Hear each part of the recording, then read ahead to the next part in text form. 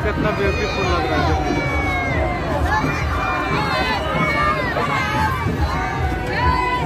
कितना खूबसूरत बना है।